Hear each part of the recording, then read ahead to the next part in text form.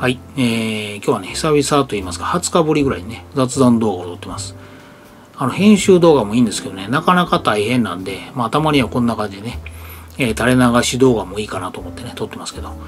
で私がね、最近動画でね、撮ってますカメラですね。それをちょっと軽く紹介しようかなと思うんですけど、まあ、最近撮ってますけど、ずっとこれなんですけど、キャノンの IBIS ミニ。で、これね、瀬戸さんが紹介されてからですね、ずっと使ってますね。もう何年なのかわからへんけど。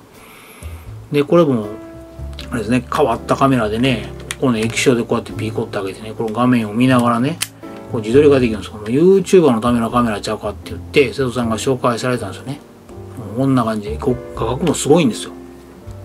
この至近距離でね、自分の部屋全体が入ってしまうぐらい、すごいカメラなんで、あのね、記録写真とか記録動画を撮るにしては、すごくね、いいカメラですね。まあ、こんなカメラを、まあずっと使ってますね。で、それと、最近のね、チャリンコ動画は全部これですね。えー、GoPro Session 5っていうのを使ってますね。まあ、できるだけコンパクトで煩わしくないカメラと思ったんですけど、音声があんまり良くないので、まあ、その辺がちょっとね、難点なんですけど、最近はね、ずっとこれで撮ってます。で、まあ、よく最近出てきてますけどね、このペンタックスの MX1 で、これで、えー、コンデジ動画を最近撮ってますね。で、まあ、こんなグリップを最近買って、ちょっと使いやすくしようかなと思ってる感じですね。で、これを買うときにね、もうイメージとしては、このマンフロットのね、こういうのと同じようにイメージして買ったんやけど、もう全然質感が違くてね。ちゃんとこのプラスチックの中に、中に金属とか入ってるんですよね、マンフロットはね。これはほんまね、まあアマゾンでそれこそ1000円もせえへんようなやつなんで、まあしゃあないっちゃしゃあないんやけど、まあ完全にこうね、パコパコ入れてますけど、こうプラスチックな感じで、まあいまいちでしたね。まあそんなのを、まあ、つけたりしてね、最近は遊んでます。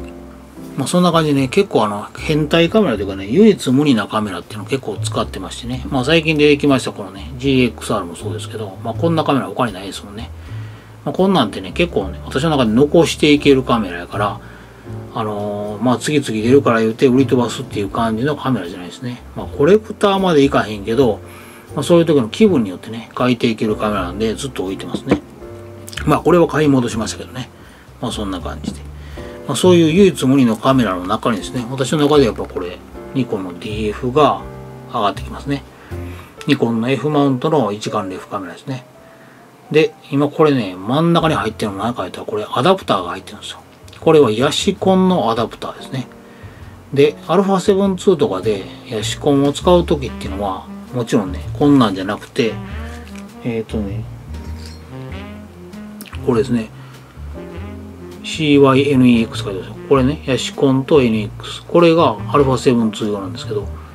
まあ、こういう感じ。ただの穴が開いてるね、寸胴のやつ。と、ニコンのね、こう、F マウントにつけたらこんな感じ。なるんですよ。要はね、ミラーが入ってるカメラで、えー、特にニコンは、えーと、フランジバックが長いんですよ。フランジバックっていうのは、このフランジっていうのはここの面。ここの銀色のところ、これフランジって言うんですけど、こっから、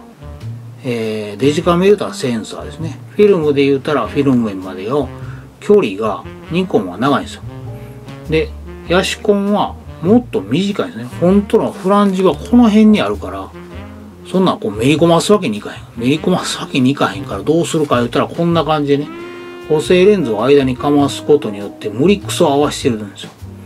で、一応ね、レンズとして装着はできるんですよ。で私も喜んで使った時期もあったけど、まあなんせここに入ってるさっきの補正レンズが、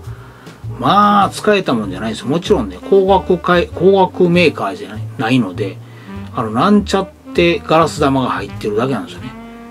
な撮れた写真もなんか白く飛んでたり、ぼやけたり、ピンが来なかったりね、まあ、めちゃめちゃなんですよ。まあでもそれぐらいしか、まあなんちゃってで使えますよ的な感じになってしまうんで、だからニコンの F マウントで他のカメラのメーカーのレンズを使うことがね、できないんですよ。できなかったんですよ。うん。で、キャノンは、例えばニコンのね、レンズが使えたりとかしたんやけど、逆にニコンからキャノンのカメラのレンズとか、ペンタックスのレンズとかを一切使えなかったんですよ。で、オールドレンズを使う身としてはですね、でももちろんオールドニッコールで十分なんやけど、やっぱり遊びとしていろんなレンズを使いたいから、って時にいつもこういうね、補正レンズに悩まされてきたんですよ。で、えっ、ー、と、もう一個あるのはこれペンタックスニコンですね。ペンタックス2本こんなんも私買いましたけどこれも全部これ補正レンズが入ってますでこんなんねもう保存状況も悪いからこの劣化しても劣化してるとか白くなってますけどねホコリもかぶって白くなってるけど、まあ、こんな感じで白くなっていくんですよねレンズ自体レンズというかもうガラスやね。なんですよね。まあこういう感じでなかなか悩まされてきました。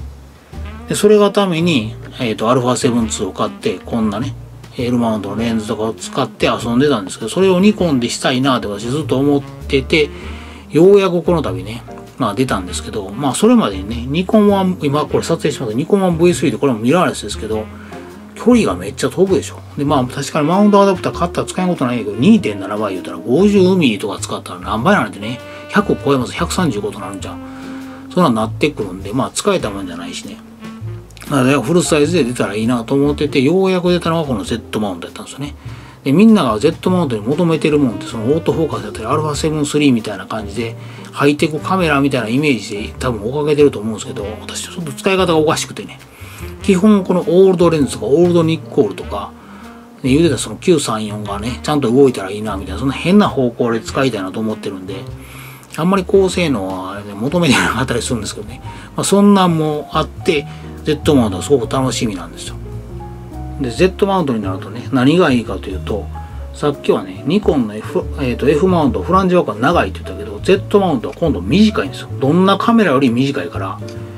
この補正レンズが一切いらなくなるんですよね。で、まあ私の観点から言えばそういう発想になるんやけど、えっ、ー、とね、老人と文学者さんのね、竹川さんが言うてはったのは、また逆の発想でね、逆の発想っていうか、まあそっちの逆の方向でね、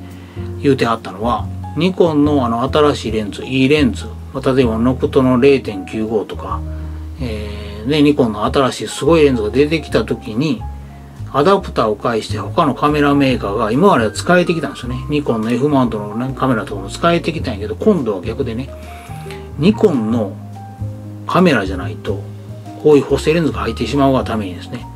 他のカメラメーカーで使えなくなってるんですよ。だからそのニコンのレンズを使いたい時はニコンのカメラを買えっていうことになってくるんですよね。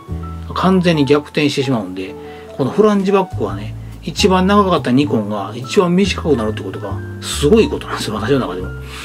で、それで聞いてる後で、そうそうそうってほんまに思ったんです私はちょっと判断が邪かったんですけど、いやほんまにこんなフランジバックでめっちゃ悩まされてきたからね、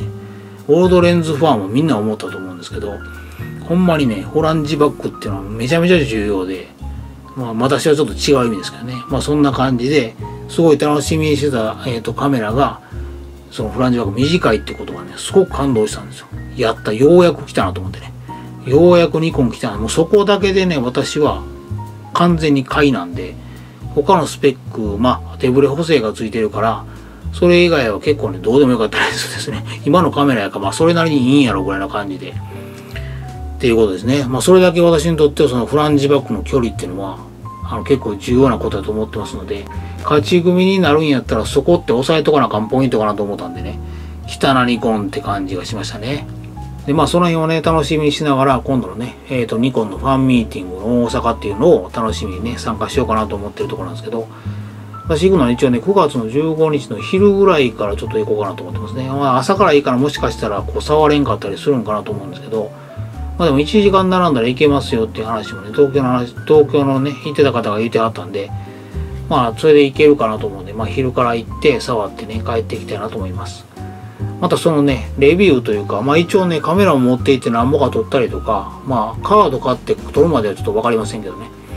えー、その辺のレビューの話をまたね、撮ってきたらしてみたいなと思いますので、またその時はね、よろしくお願いします。ということで、えー、今日はね、この辺で終わりたいなと思います。バイバイ。